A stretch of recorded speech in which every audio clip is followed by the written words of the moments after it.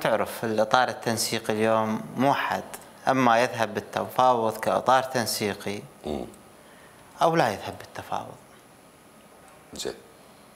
فهاي نقطة راح سطر خليها يمك. أي.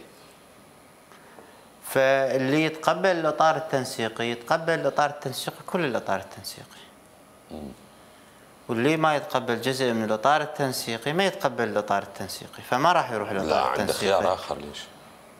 إذا ظليتم الصلبين بموقفكم وما قبلتوا شرط الصدر واصريتوا أن تكونوا جزء من الإطار سير الصدر قدامه طريق آخر يقول لك أنا أروح للمعارضه وفينكم تتحملون السيد يروح للمعارضه شوف أستاذ أحمد خلينا نكون واضحين. إحنا اليوم العملية السياسية والانتخابات المبكرة إجت نتيجة لانسداد سياسي.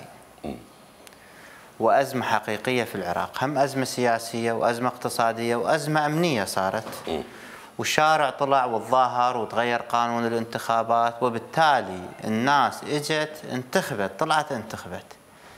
ففرزت هاي صارت عندنا مشاكل بالانتخابات. هسه قضية شبهات التزوير اللي سادت العملية الانتخابية واليوم الدعاوى اللي موجودة بالمحكمة.